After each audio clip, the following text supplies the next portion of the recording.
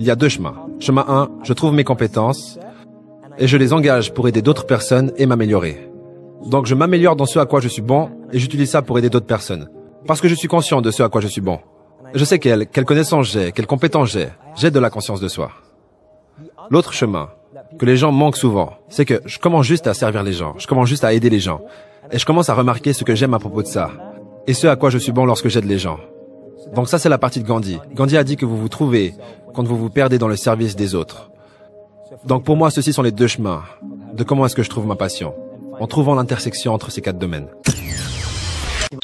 Il te parle de guerre entre les dieux indiens Oui. ils se sont, ils sont allumés à coups de bombe atomique, en fait, si Oui. tu le Mahabharata, tout ça. Et Ouais. en fait, c'était pas des dieux, c'est juste l'ancienne, c'est une humanité précédente, si tu veux. Alors après, et en fait, quand le- les couples qu'il a sauvés de ce cataclysme, ils ont atterri, en fait, les gens se sont mis à vénérer les condors, en fait. Tu vois ça, c'est pas moi qui le dis, hein. c'est Pascal Cazotte, c'est une histoire amérindienne. Et c'est ça, en fait. Les mecs, au lieu de vénérer Dieu qui les a sauvés, bah, en fait, ils se sont mis à vénérer les condors, tu vois. C'est possible ça que ce soit des anci- une ancienne euh, civilisation avancée? Mais c'est, mais c'est, mais, mais mais qui se font passer pour des dieux, ou, tu vois. Oui. Et moi, moi, la création, moi, je crois qu'il n'y a qu'un créateur, tu vois. T'as une sorcière Wicca Mm. qui te dit, moi, quand je fais, quand je fais des rituels de magie, eh ben, il y a des ovnis qui apparaissent. selon comment tu vois. Déjà, quand, si tu crois au mensonge de la NASA, tu vois, aux scientifiques, à la science qu'on Ouais. nous a vendu, tu vois, si tu crois que les images de la Terre qu'on t'a montrées, elles sont vraies, tu, crois que tu es sur un, un caillou qui tourne à 1600 km heure, machin, dans l'espace infini, je sais pas quoi. Bah, Mm. déjà, ton paradigme, c'est pas le même qu'un croyant, tu vois, qui pense qu'en fait, non, Dieu, il a créé la Terre en six jours, et les cieux, et qu'il l'a nivelé, tu vois, et qu'il y a sept cieux.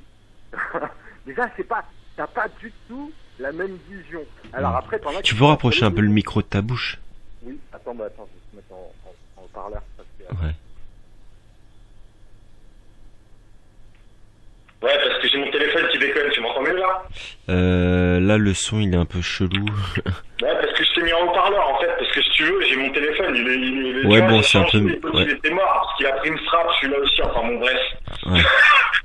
tu m'entends là Euh, ouais, un petit peu, ouais.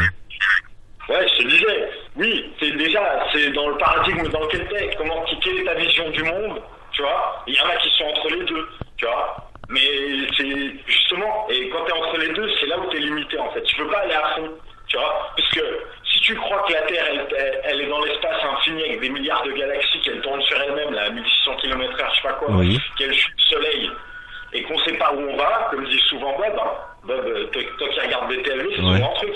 Ah, mais on sait pas où on va, on va où? Il leur demande toujours aux astrophysiciens, ils kiffent. Il leur dit, on va où les gars, on va où? Ah, on sait pas, c'est le mystère. Mais si toi, ta vérité, c'est la parole de Dieu, ah là, c'est pas pareil.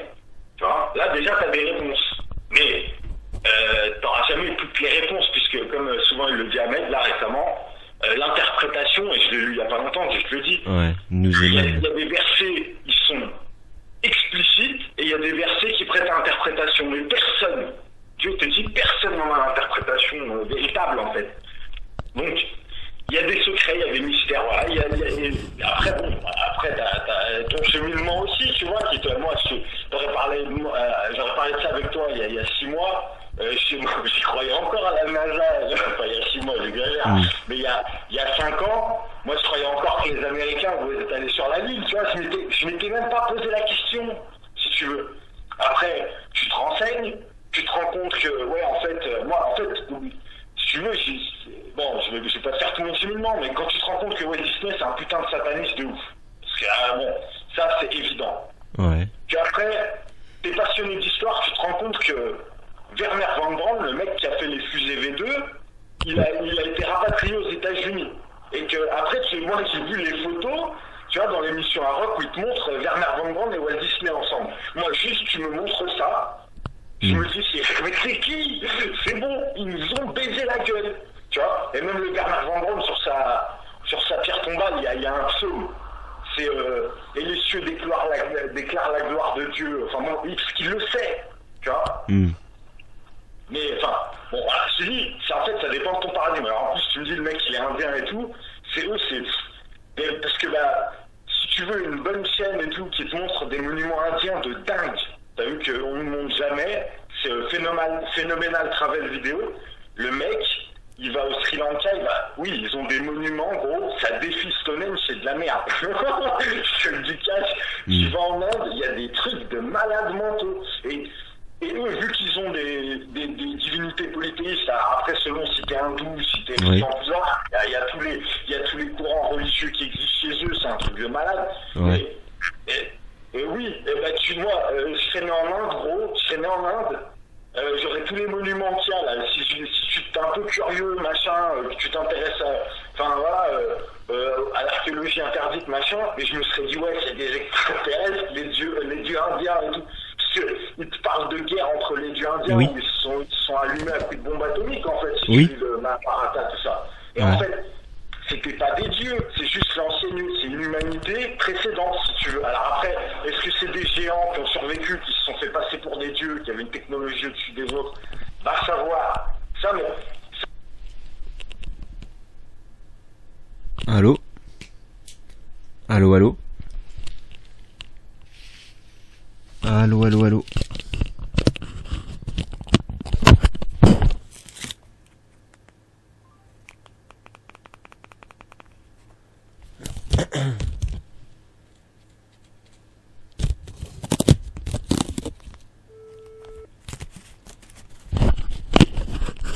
ouais, mon téléphone il a bugué, je suis désolé. Ouais, ouais, tu me disais Ouais, je sais plus, bah, ça a coupé du coup euh, Ouais, ça a coupé, tu me disais euh, que en gros ils avaient divinisé leur... Euh, qu'en gros pour toi c'était une ancienne civilisation quoi. Bah, c'est ça, c'est, mais c'est ça en fait. C'est, comme l'Atlantide. Oui. Intéresse-toi à l'Atlantide, euh, à ce qui reste dans les îles des Açores, tout ça. En fait, c'est, il y a l'Antarctique. Ça se voit en fait. Il y a même une vidéo, si tu cherches, tu iras voir euh, Da- Daniel Mhm. Tu, tu cherches une vidéo avec un mec qui s'appelle Pascal Cazotte. Bon, des fois il dit des conneries, hein. c'est un historien de YouTube Ouais. là. Mais il a fait une vidéo qui c'est sur Anna Exploratrice.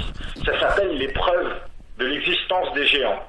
Et Ouais. dedans, tu vois, alors lui, il parle pas de Dieu. Hein. Lui, pour lui, c'est des. Mais moi, je te dis, euh, j'écoute tout le monde et puis au moins, euh, tu vois, tu fais le tri, quoi. Oui. Et il te montre des sites qu'on voit jamais. Et donc, il montrait des sites de dingue qui te montrent clairement qu'il y a eu une humanité. Il y a même eu, il y a dû avoir une civilisation mondiale, en fait. C'est un coup, pas qu'une. Mais il y en a une, tu vois, celle avec les pyramides, là et tout.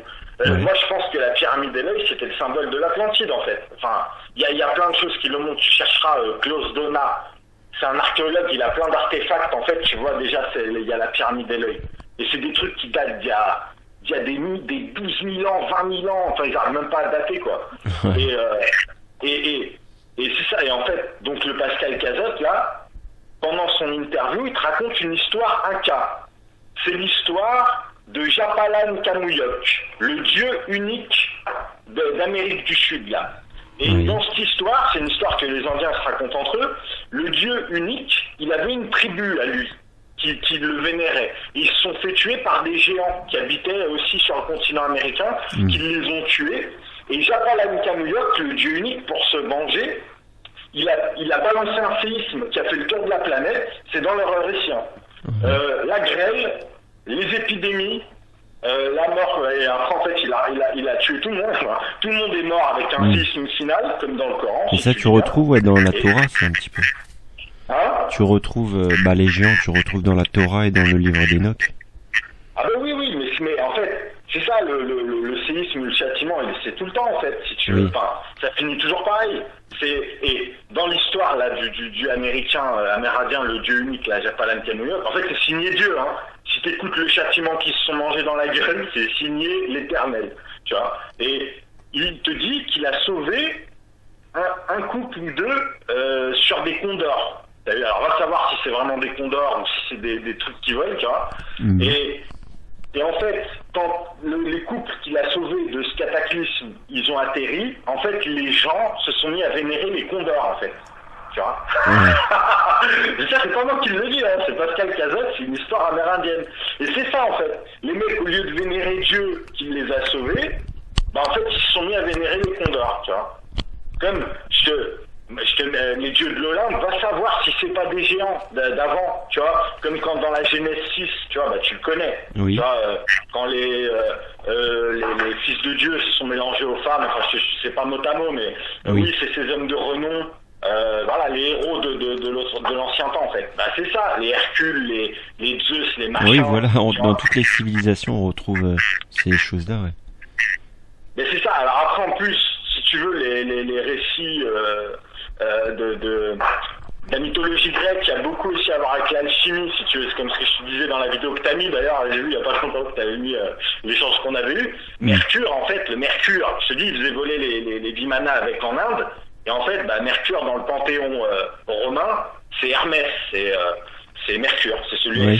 sur les... Alors est-ce qu'en fait c'est pour te dire symboliquement ce qu'il y avait, euh, je crois que c'est Newton ou je sais plus, qui avait décrypté qu'en fait euh, telle ou telle euh, comment telle ou telle histoire en fait de la mythologie grecque, en fait si tu si tu prenais les matériaux que représentaient les personnages, en fait tu avais des recettes alchimiques si tu veux. Oui, oui, bien sûr. euh, Donc en fait, voilà, t'as as des allégories, t'as des. Mais euh, moi, je, moi, je suis convaincu que l'Atlantide, par exemple, oui, ça existe. Bah, il y a trop de vidéos là. Il y en a une qui est excellente, là, qui est sortie sur euh, Nurea TV là, il y a pas longtemps. Le mec, il a fait un exposé. oui, Et mais tu vois, tu vois, euh, c'est énorme. Tu vas voir euh, ce qui monte sur les îles des Açores. hein, moi, je l'ai jamais vu.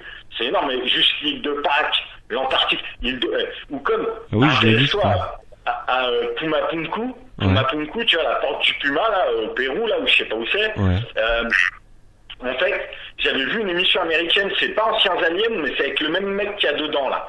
Et euh, en fait, si tu veux, euh, par informatique, en fait, ils comprennent pas pourquoi toutes les pièces. Si tu veux, à Pumapunku, en fait, t'as un, t'as un site où plein de pierres, elles sont éclatées de partout. Mais des, des monolithes de ouf, hein, des trucs de dingue, avec des gros haches et tout. T'as dû déjà le voir si tu regardes euh, Ouais. les trucs d'archéologie interdite.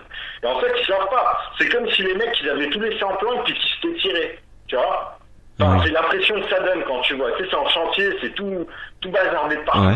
Et en fait, le mec là de, de l'émission américaine, là, en fait, il va dans un dans un lycée américain et puis ils font une, en fait, si tu veux, ils font des euh, des simulations informatiques où en fait le mec, le, le c'est un, je crois que c'est un prof d'histoire, en fait lui, il part du principe qu'ils se sont mangés un déluge et en fait il te met une simulation avec comme une grosse vague d'eau qui tomberait sur euh, le monument en fait. Et tu vois que les pierres en fait c'est bah, en fait c'est ça, ils ont pris une vague de ouf sur la gueule. Parce que c'est pareil, regarde.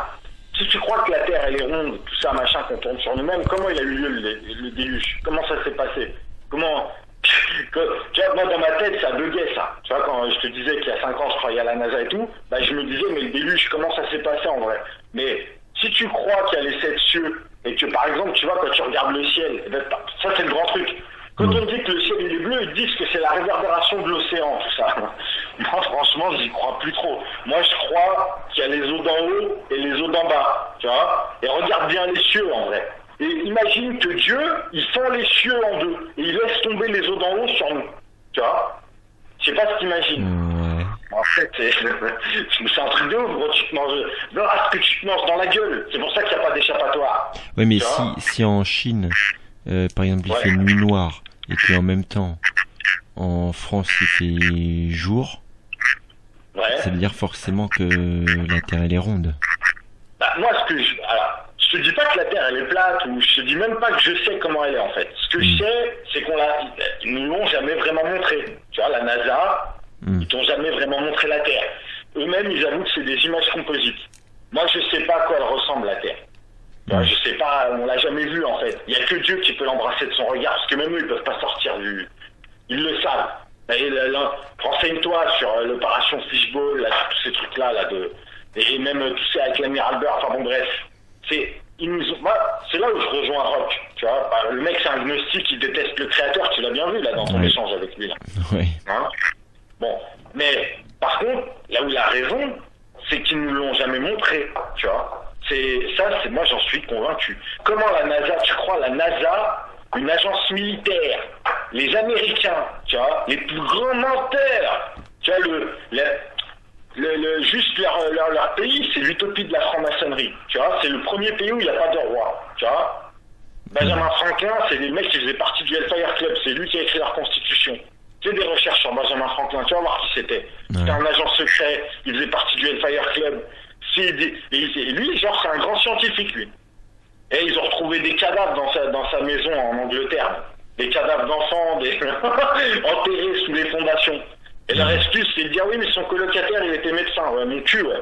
Non, mais, eh, et le mec, il faisait partie du Hellfire Club. Et George Washington, le premier président des États-Unis, bah, c'est un franc. tu sais, Même le 4 juillet, le 4 juillet, pourquoi c'est leur fête nationale? C'est parce que c'est euh, la fête de Beltram, Beltane, ou je sais pas quoi. C'est une fête païenne où il y a un sacrifice humain, tu vois. C'est- si, mais cherche, tu verras, tu euh, vas, enfin, euh, cherche 4 juillet, Beltram, tu vas voir Beltram, je sais pas comment ça s'appelle, c'est une fête païenne. Ouais. C'est, euh, mais c'est, c'est ça, c'est, tu vois. Et donc eux, eux, ils vont envoyer, ils vont envoyer des fusées sur la lune avec des mecs en costume en papier crépon là.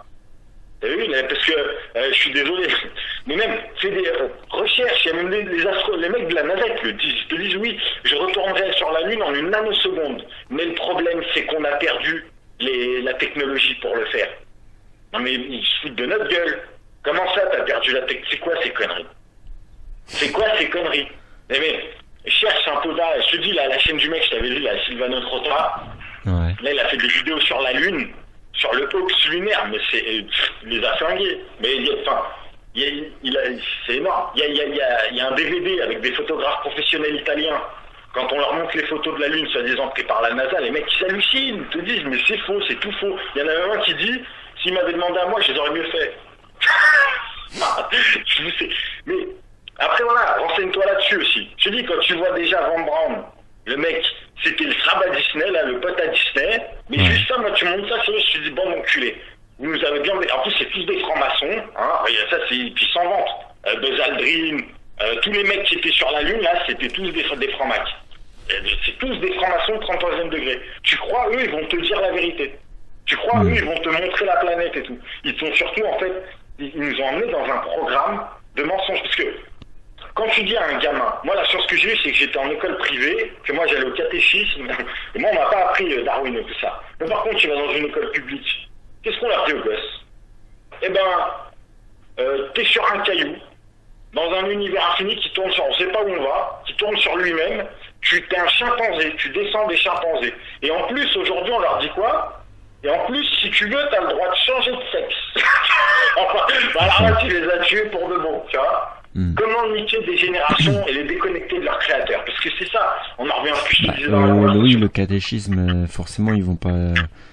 Ils ont la Bah vision oui, de la. Mais le- bah oui, mais c'est quand j'allais au catéchisme, c'est ce qu'on disait, on lisait la Bible. Tu vois ce que je veux te dire Oui. Mais t'as vu la vidéo euh, Après, sur la Est-ce que Genèse tu es croyant ou est-ce que tu n'es pas croyant tu vois Est-ce que tu crois que la parole du Seigneur, c'est la vérité Oui. et qui et que ou est-ce que tu crois que la NASA, les francs-maçons, Darwin, Newton, c'est tous des tous ceux que je te cite là, c'est des grands kabbalistes, des grands sorciers. T'as vu, ils faisaient de la ils faisaient de la l'alchimie, tu vois, il y a le grand truc de l'alchimie. Pourquoi pourquoi il y a que des transsexuels là aujourd'hui? C'est parce que c'est le grand truc de l'alchimie, hein, je te l'avais dit, il va y avoir le rébus, le là, c'est euh, c'est un être transgenre. Puisque en fait dans l'alchimie, dans la cabale, pour eux, Adam, avant qu'il y ait Ève, c'est un transgenre si tu veux. Tu vois? Hmm. Et quand t'es un transsexuel, en plus, t'es une cible. T'es une femelle pour les jeans, tu vois. Mais bon. Hmm. Enfin, mais ça, je te dis, c'est une histoire de paradigme. Est-ce que tu crois la parole du Seigneur? Bah justement, pour toi, c'est quoi la définition de Dieu? Hein? Pour toi, la définition de Dieu Là, pardon, La définition. Attends, j'enlève le haut-parleur vite fait. Ouais. Pour toi, la définition. Si je t'écoute, tu me dis. Ah non, là, je t'entends plus. Attends, attends, mais, mais dis-moi, moi je t'entends. Euh, ok. Là, pour toi, la définition de Dieu. La décision de Dieu? Oui. Alors attends, je remets le haut-parleur. La décision de Dieu, La- bah, euh, perso, je la connais pas. je suis pas. Non, mais c'est après, tu vois, les voies du Seigneur sont impénétrables. Moi, je suis un humain et je suis un pécheur. Euh, je te parle de tout ça. euh, moi, je suis pas. euh, je connais, je connais pas l'invisible. Hein. Et il y a un coup, c'est un coup, je te dis des gros. Enfin, ce dont moi, la foi, laquelle, euh, sans quoi j'ai la foi absolument à 100% maintenant, c'est la parole de Dieu. Oui, j'y crois. Ah, c'est sûr. Hmm. Et y a pas de et voilà. Mais j'ai choisi ça. Voilà. Là t'as le choix aussi, c'est ça. Moi, j'ai choisi de croire la parole du Seigneur. Mais après, voilà, est-ce que ça vient de mon cheminement? Est-ce que ça vient de mon éducation? Tu vois? Bah Mais- oui, si t'étais au catéchisme. euh, Oui, bah oui, oui, oui. Oui, Ouais. bah je te dis ça, je suis allé un an, hein. Tu vois, c'est après, Ouais. après, je suis allé, après, je suis allé dans un collège public. J'ai eu l'expérience des deux, si tu veux. Je suis allé dans un collège privé du, de mon CM2. Enfin, de, c'était une école privée, ils faisaient collège. J'ai fait CM2, 6e, si tu veux. La 6e, on avait le catéchisme. Après, je suis allé dans un collège public. Où là, où là, voilà, c'était euh, les singes, la préhistoire, machin. Mm. Mais, Mais tu penses pas que c'est entre les deux, l'hybridation? Bah, euh, ça, moi, moi, en fait, quand Dieu il dit qu'il soit et ça est, et qu'il nous a créé du- d'une d'une goutte d'eau vide du sperme et Oui. d'une adhérence, moi, je crois à ça. Je crois pas. Je crois pas aux Anunnaki et à la, à la manipulation génétique des chimpanzés. Ça, je crois pas, je cherche pas. Pour moi, c'est pas, c'est- ça, n'existe pas. Après. Mais euh, pourquoi on a je parle des 98? Anunnaki. En fait, est-ce que les Anunnaki, ça serait pas des, une peuplade d'avant? Je te dis, qui aurait survécu, qui s'est fait passer. Est-ce que t'es allé voir Göbekli Tepe, là, le site en Turquie où il y a tous les animaux dessinés, là, qui, qui remet à Ouais. zéro toute l'archéologie? Va le voir. Ah mais c'est possible ça, Ça- que ce soit des anci- une ancienne euh, civilisation avancée? Ben, c'est- mais c'est, ben, mais c'est, mais et qui se font passer pour des dieux, ou, tu vois? Oui. Et moi, moi, la création, moi, je crois qu'il n'y a qu'un créateur, tu vois. Oui. Il n'y a qu'un créateur. Et c'est lui qui a créé Adam. Et c'est pas euh, la déesse Ustana de, enfin, les Enki, Enlil, toutes ces conneries là. Ça, Mais tu l'as vu la vidéo de Pierre Jovanovic mais oui, mais lui, en fait, lui, déjà, il, en fait, euh, il- son truc là, le mensonge universel, machin, en fait, euh, bah, si c'est, lui, il est contre aussi, hein.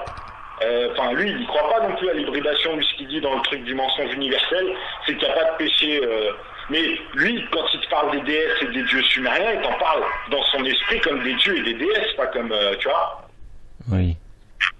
euh, pas comme des extraterrestres.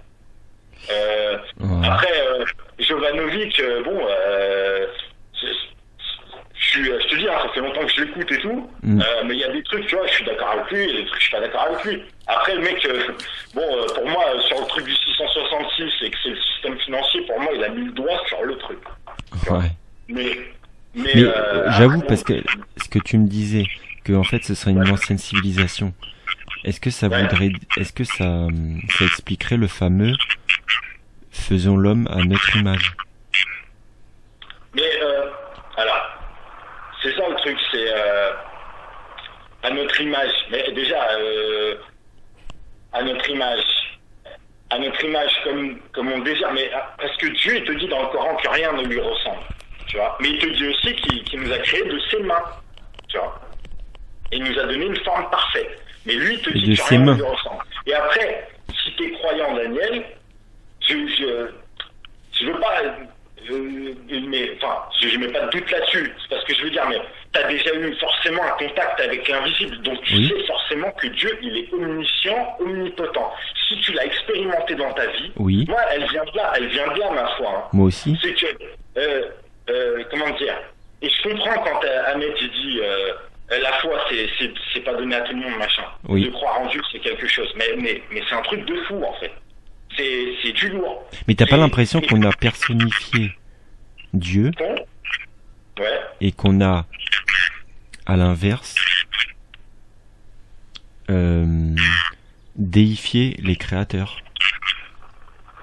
Mais moi, euh, il y a un créateur. Il n'y a pas des créateurs. Y a- si, en plus, en fait, dans, même dans, le, dans la Torah, dans l'Ancien Testament, il y a ce qu'ils appellent les. En fait, c'est les Néphilim.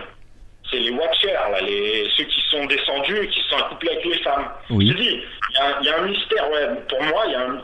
Mais, enfin, un mystère.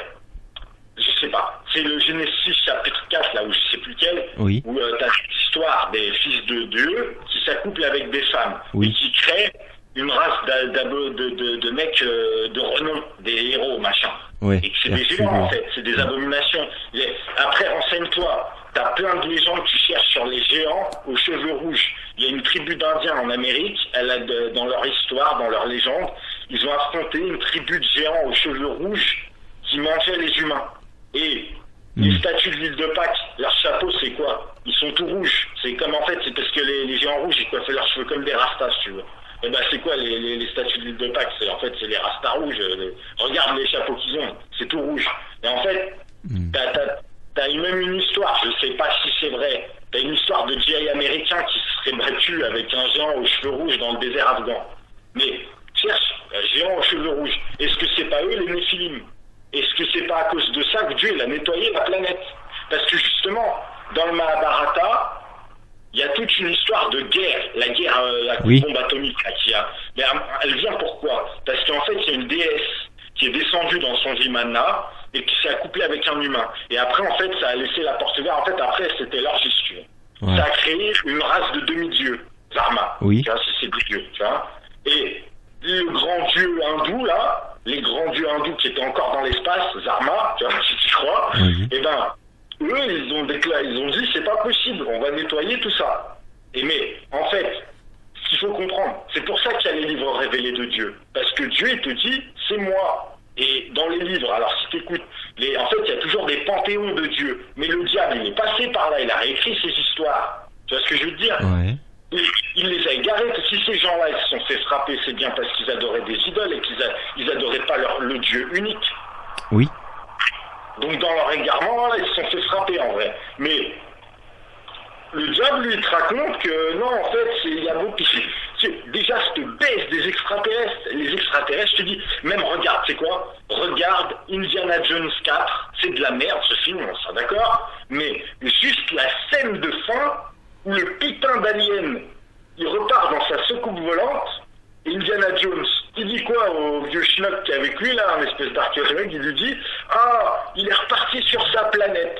Et là, le vieux, il le regarde, il lui dit Non, non, non, il est reparti, ils sont repartis dans leur dimension. Et c'est ça, c'est toute une histoire de dimension. C'est pour ça qu'il y a le ferme qu'ils essayent d'ouvrir une porte, cette bande de tarés. Ouais. Mais c'est ça, c'est des les aliens, si tu veux, c'est des- en fait ce que tu appelles extraterrestres, aliens, ET, les petits gris, machin, Oui. c'est des êtres interdimensionnels. Ouais, j'avais entendu parler de ça. J'en suis persuadé. Tu vois Mm. J'en suis persuadé. Et c'est, c'est, pour ça que je te dis, recherche dans les. C'est, c'est- ils le disent jamais en France, ça. Parce que pareil, Muret TV, ils vont parler tout sauf de Dieu. Mais dans les abductions, aux États-Unis, c'est reconnu. Si tu appelles Jésus au secours ou Dieu, l'abduction, elle s'arrête immédiatement. Parce que Ouais, bah Wendy m'avait dit ça au téléphone. et, mais c'est ça, c'est, si tu veux, moi je suis convaincu que c'est des histoires de, de portes dimensionnelles, si tu veux. Et il y a même une sorcière américaine, je ne retrouverai pas la vidéo, mais ça s'appelait euh, Alien Hardimon, euh, enfin les aliens sont des démons ou viennent de l'enfer, je sais plus. T'as une sorcière Wicca Mm. qui te dit, moi, quand je fais, quand je fais des rituels de magie, eh ben il y a des ovnis qui apparaissent. Ok? Ah ouais. Et c'est ça. C'est, mais c'est comme, euh, est-ce que tu t'es déjà renseigné sur euh, l'affaire du col Diatlov? Le col Diatlov, c'est une expédition de Russes qui est partie là dans les années 1915 là, dans une montagne. La montagne, elle s'appelle euh, dans la, la, la langue machin, elle s'appelle pas dans la langue du coin là-bas. Et, et on a retrouvé, tu iras voir, note-le ça, le col Diatlov, et cherche, tu vas voir, fait des. Et en fait, ils ont disparu, on les a retrouvés euh, euh, avec la langue arrachée, en slip dans la neige moins 40. Ils se sont rendus compte que leur tente, elle avait été ouverte de l'intérieur parce qu'en fait, ils se sont enfuis, en gros, en, à poil dans la neige à moins 40, alors que c'est des alpinistes euh, chevronnés. hein. Mm. Ils n'ont pas retrouvé les cadavres tout de suite, hein, ils les ont retrouvés au fur et à mesure. Alors, euh, euh, il y en avait qui, ça se voyait, ils étaient en train de s'échapper. Il y en- Et alors, euh, ils sont irradiés. euh, brisés, il y, a, il y a les os brisés, le- toute la moitié du corps. Le mec, ils disent comme s'il avait pris un impact de voiture lancé à pleine vitesse. Euh, la nana, elle a la langue coupée. Euh, ils disent, euh, vu comme c'est cautérisé et tout, en fait, s'ils lui ont coupé, elle était vivante. Tu vois Elle a plus d'yeux, ils ont plus d'yeux, ils ont les cheveux gris comme s'ils avaient vieilli d'un coup, la peau orange. Ils sont tous irradiés et le plus choquant, c'est que t'as, ils en retrouvent, ils sont en slip. Ça veut dire ils sont sortis de leur tente en courant. Je sais pas ce qui a apparu dans leur tente, mais et tous les témoins qui avaient aux abords de la montagne où ça s'est passé, ils ont tous vu des putains d'ovnis. Tu vois Ouais. alors après, bah voilà, c'est ton paradigme. Est-ce que tu crois à la NASA, aux extraterrestres, aux univers Alors, je te dis pas qu'il n'y a pas des univers infinis, mais que nous, on ne sait pas perceptible. Je te dis, nous, on ne peut pas sortir de là où on est. J'en suis convaincu. Et s'il y en a qui doivent venir, ce sera que par la permission de Dieu. Ça veut dire même le CERN, s'ils arrivent à ouvrir leur putain de portail, ben, c'est ce que Dieu il aura claqué des doigts quand il lui aura dit allez vas-y. Mais avant ils n'y arriveront pas, donc Dieu ne l'aura pas validé, si tu veux. Regarde, ça fait combien de temps qu'ils essayent Et en fait, tous les 4 ans, je crois le truc qui double de puissance, si c'est pas plus. Machin. Hmm. Mais pour toi, t'es pas d'accord que Dieu, c'est la conscience de l'univers? Dieu, il est omniscient, omnipotent. Ça veut dire il est partout, tout le temps, il sait tout. Mais il sait tout à un level que, par exemple, moi, en lisant le Coran, Hmm. et il y a des interrogations que j'avais. Par exemple, même j'ai, même me prosterner au début, ça m'a fait bizarre. Vois, je me suis dit, mais c'est quoi ce délire? Devant quoi je me prosterne? J'avais pas l'habitude, si tu veux, tu vois. Hmm. C'est, bizarre, ça fait bizarre de se prosterner. Mais dans mon cheminement, regarde, je me posais la question intérieurement. Hein, tout ce que je te dis, là, je l'ai pas, je l'ai pas prononcé. Tu vois, c'était intérieurement. Bah, le lendemain, j'ouvre le Coran comme elle m'a dit fait, où Dieu veut que je l'ouvre, et je tombe sur quel verset Dieu me dit, ne vois-tu pas que dans les cieux et sur la terre, tous les êtres se prosternent devant leur Seigneur même le soleil, même la lune Ah, je me suis dit, là, c'est bon. je me suis dit, ok, Seigneur, j'ai oublié. Mais, et après, tu vois, tu vois qu'en fait, dans le Coran, si tu lis bien, Dieu te dit, fais comme ton père Abraham, qui s'inclinait et se prosternait. Quand il dit au mari, prosterne-toi et incline-toi avec ceux qui s'inclinent, c'est que Dieu, il veut ça de nous. Tu vois Hmm. moi, moi, je le comprends comme ça. Mais après, ouais, c'est ton cheminement, c'est, tu vois. Mais j'ai, rien qu'en expérim- en expérimentant ça, là, le fait que Dieu me réponde directement quand j'ouvre le Coran par rapport à un truc que j'ai intériorisé. Oui. Et ça, voilà, c'est, un exemple, je peux t'en sortir plein, mais après, en fait, c'est des trucs perso que si tu racontes à des gens qui n'ont pas la foi, ils vont te prendre pour un taré. Tu vois Mm. C'est ça, c'est une histoire de foi. Est-ce que ta foi en la NASA, en euh, les scientifiques, soi-disant, ceux qui se de diplôme, là, Ah non. je je te dis pas qu'il n'y a pas une science, je te dis pas qu'il y a, mais ils l'ont détourné pour nous éloigner du créateur. Parce qu'en fait, si tu vas dans le vrai, dans la vraie science, machin, en fait, ça ne peut que t'inviter à croire en Dieu, en fait.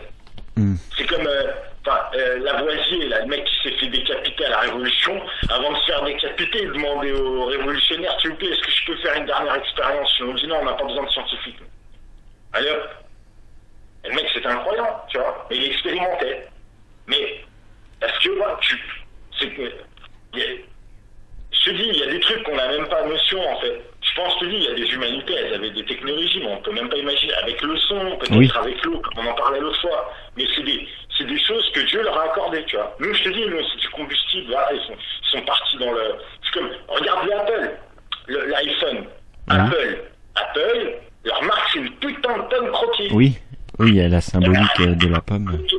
Et bah, tu, en plus, si t'as le 777 de Jova, Jovanovic, dedans, il a mis la pub du premier Apple qui était vendu 670 Ouais. dollars. 70. Ouais, exact. Et, et avec la photo d'Adam qui tient une pomme et qui est à les mecs d'Apple qui te disent oui, euh, nous recherchons la meilleure utilisation de la pomme depuis Adam. Mais c'est cuit. Les mecs qui utilisent tout seul. Si t'es croyant, tu le vois. Si t'es pas croyant, tu rigoles, tu te dis ah, c'est des bons marketing, c'est- ils sont bons en marketing les mecs. T'as vu, ils font des bonnes références. Mais la Genèse, t'es- pas d'accord euh, que c'est une récupération sumérienne par rapport aux datations? Tu me dis quoi? La Genèse, Ouais. t'es pas d'accord que c'est une récupération sumérienne par rapport aux datations? Bah, mais alors, mais c'est ça. Qui a récupéré quoi? Qui a récupéré qui en premier? Tu vois? Bah, c'est simple. Euh, les tablettes sumériennes, c'est moins 2500. Ouais. Et c'est moins 900 la Genèse. Oui, mais euh, alors pareil, c'est c'est, euh, d'où viennent ces tablettes Qui les a écrites vraiment Tu vois? Est-ce que ça vient pas d'un peuple qui s'est fait frapper avant et que c'est pas des restes Tu vois? Et que les mecs justement ils sont partis dans l'égarement donc ils ont fait une frappe Tu vois? Comme là, ça va nous tomber dessus dans pas longtemps. Mhm. Bah, ça vient de...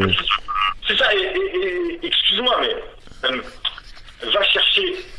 C'est un prof d'université, il est à la retraite maintenant, il s'appelle Jean-Claude Lozakmer, je t'en avais déjà parlé. Et le mec, en fait, c'est un spécialiste de mythologie. Oui. Et il a, il a trouvé que tout autour du monde, il y a le même récit d'initiation tout le temps. Oui. Que ça soit l'histoire, l'histoire de Perceval, l'histoire d'Isis, d'Horus et d'Osiris. Oui. Il y a la même histoire en Amérique du Sud chez les Amérindiens. Oui. Avec toujours, sauf que cette histoire est toujours inversée. Ça veut dire que le dieu qui crée le déluge, il est mauvais. Et le dieu civilisateur, ami des hommes, il est gentil. Prométhée. Prométhée qui a volé le feu, bah c'est, Prométhée, c'est Lucifer.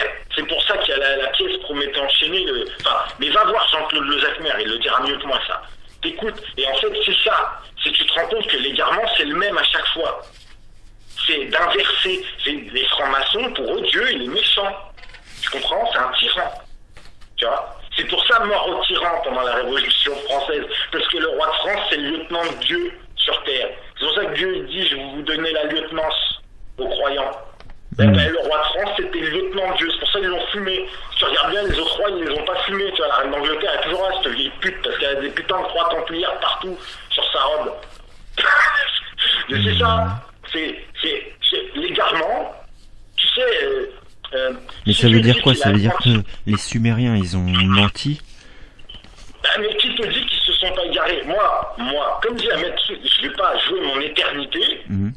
Mais ok, ils sont égarés sûrement, vu qu'ils sont Parce qu'il y a là. des mecs qui ont écrit il y a 12 000 ans sur des tablettes que, que machin, euh, il y a des dieux, euh, il y a Enki, Enlil, le méchant Enki, le gentil Enlil, le civilisateur, machin, Oui. hein, avec toute la... Bah,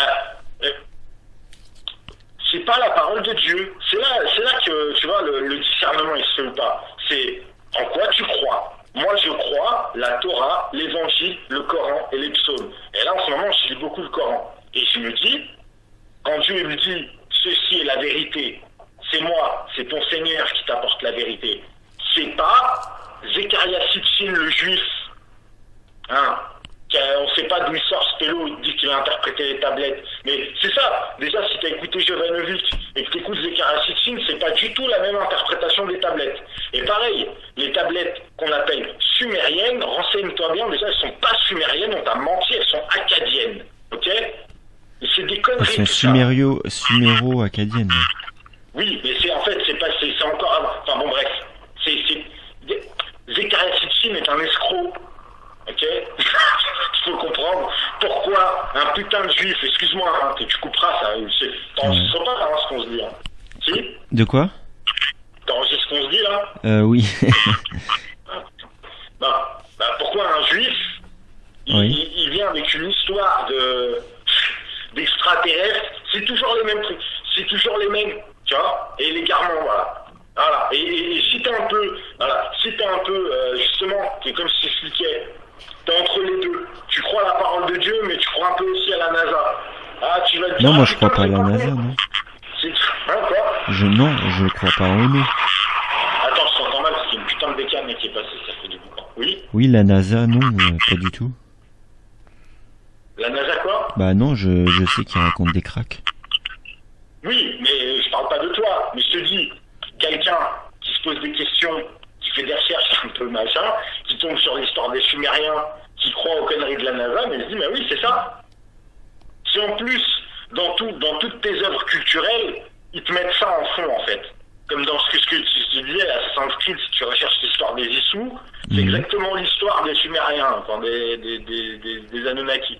Tu vois Ouais. et tu rentres, il te met. Mais c'est ça, c'est, euh, ça va être ça la grande subversion. Enfin, c'est énorme. Tu te rends compte de Dieu te dit, je suis seul et unique. Il y a, que moi qui vous entend quand vous quand vous me priez. Les, les, les idoles et tout ce que vous implorez en dehors de moi ne peut rien. Ils peuvent rien, ni vous enlever, ni vous donner. Mais, mais tu penses pas qu'il y a une que Dieu c'est la conscience cosmique Ben, Non. c'est c'est ce que je te dis. Après, regarde, euh, je pense que Dieu il est tellement grand qu'on peut même pas. Ce qu'il le dit, ton cerveau il fume, t'explose, tu comprends pas. Déjà juste de savoir qu'il est omniscient, omnipotent, et que oui, il peut te répondre si tu l'invoques, c'est vrai. Tu vois, mais ça après voilà, faut être croyant, faut avoir, faut avoir la foi, faut, Oui. faut, faut l'expérimenter. Ouais. Mais juste si tu as imprimé dans ton cerveau que Dieu, il est omniscient, omnipotent, vraiment, véritablement. Mais où hein, est c'est ton libre arbitre alors dans ce cas-là? Hein? Ton libre arbitre.